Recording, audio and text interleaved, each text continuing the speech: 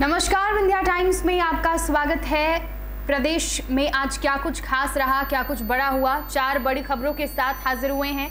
और हमारी पहली खबर, पूर्व मुख्यमंत्री कमलनाथ से जुड़ी हुई अचानक पूर्व मुख्यमंत्री कमलनाथ की तबीयत बिगड़ गई है। अचानक अस्वस्थ होने के बाद उन्हें गुरुग्राम स्थित मेदांता अस्पताल में भर्ती किया गया है। सीने में दर्द की शिकायत हुई, जिसके बाद एहतियात के रूप में उन्हें तुरंत ही अस्पताल में भर्ती किया गया है। उनके अस्वस्थ होने के बाद उनके बेटे नकुल नाथ भी अस्पताल के लिए रवाना हो गए हैं और उनके उनके स्वास्थ्य की जानकारी लेने के लिए वो तुरंत ही अस्पताल के लिए निकल गए बताया जा रहा है कि कमलनाथ को सीने में दर्द की शिकायत हुई। इसके अलावा उनके, उनको सर्दी खांसी की भी शिकायत है, जिसके जिसके लिए उनका कोरोना टेस्ट भी कराया गया।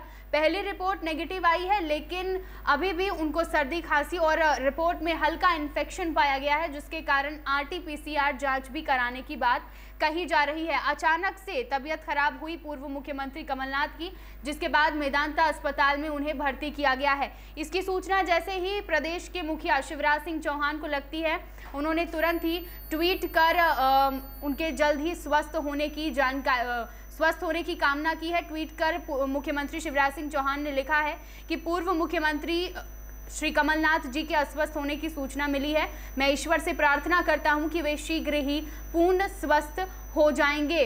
तो जल्दी स्वस्थ होने की कामना मुख्यमंत्री शिवराज सिंह चौहान ने भी की है।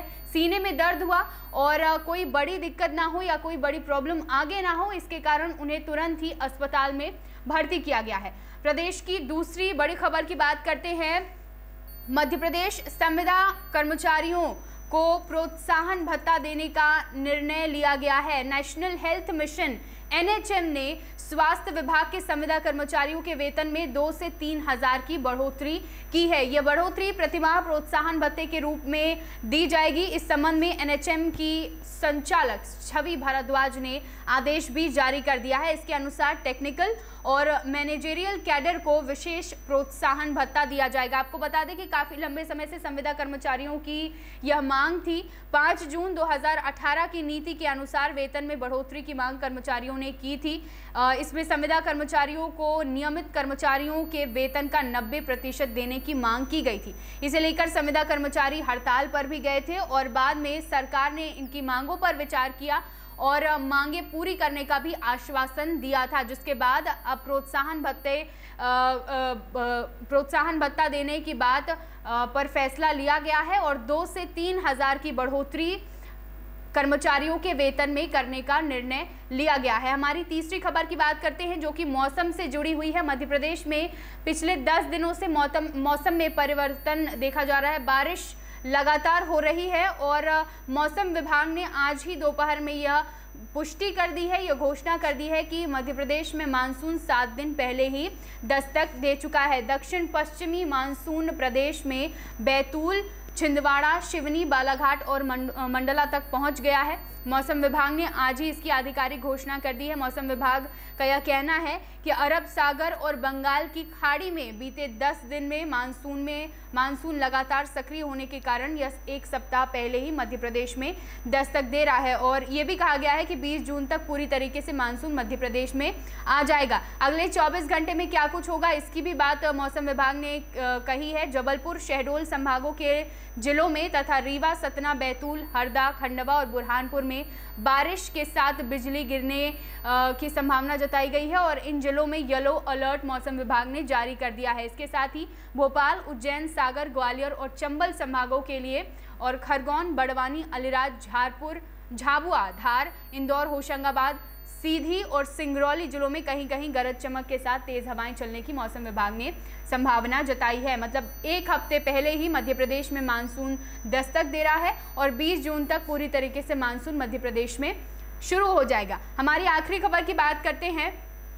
Satna railway police force, RPF के लॉकअप में एक आरोपी, एक युवक के फांसी लगाने की खबर सामने आई और इस खबर के बाद परिजनों में काफ़ी आक्रोश देखा गया, इसका असर रीवा में देखा गया। रीवा जयस्तंभ में चक्का जाम परिजनों ने शव को बीच में रखकर किया। काफ़ी भीड़ हुई, ट्रैफ़िक काफ़ी ज़्यादा हुआ, आवागमन बाधित हुआ, भारी पुलिस बल तैनात हुआ मौके पर। काफ़ी समझाइश के बाद परिजनों को शांत करवाया गया।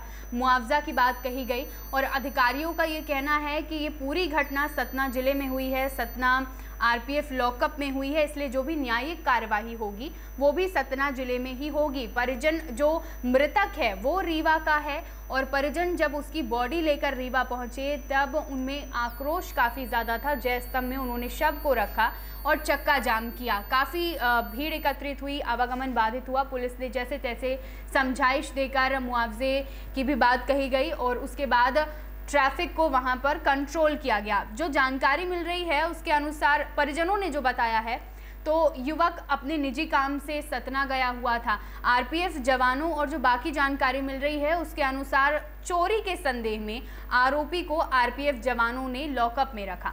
लिखा पढ़ी चल रही थी कार्यवाही की जा रही थी और आरपीएफ जवानों का यह भी कहना था कि आ, कुछ समय बाद आरोपी को छोड़ दिया जाएगा। चोरी के संदेह में उसे लॉकअप में रखा गया था लेकिन उसी दौरान युवक ने कंबल को फांसी का फंदा बनाया और अपनी जान ले ली, आत्महत्या कर ली।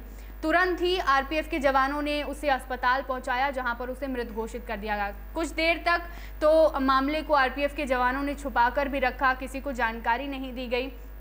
परिजनों से भी कुछ और ही बताया गया था। फिर जब बाद में मौत की पुष्टि हो गई और कुछ समय बाद आरपीएफ के जवानों ने उनके परिजनों को यह सूचना दी कि उनके बेटे की या जो भी मृतक है, जो भी रिश्तेदार हैं, उनको यह सूचना दी गई कि उसकी मृत्यु हो गई है। इसके बाद परिजन सतना पहुँचे। वहाँ पर भी खूब हंगामा हुआ। ये भी जानकारी मिली कि आरपीएफ के जवानों और परिजनों के बीच झूमा झटकी भी हुई। ये तमाम चीज़ें हुई और उसके बाद इसका असर रीवा में भी देखने को मिला। चक्का जाम किया गया और उसके बाद काफ़ी समझाइश के बाद चक्का जाम रीवा जय स्तंभ से भी खुलवाया गया। तो सतना में युवक की मौत हुई और रीवा में परिजनों ने, परिजनों का आक्रोश इस तरह फूटा कि रीवा जयस्तंभ चौराहे में शव को रखकर चक्का जाम परिजनों ने किया था। तो हमारी आज की चार बड़ी खबरें, तमाम खबरें लेकर कल फिर हाजिर होंगे। देखते रहिए विंध्या टाइम्स। बहुत बहुत धन्यवाद।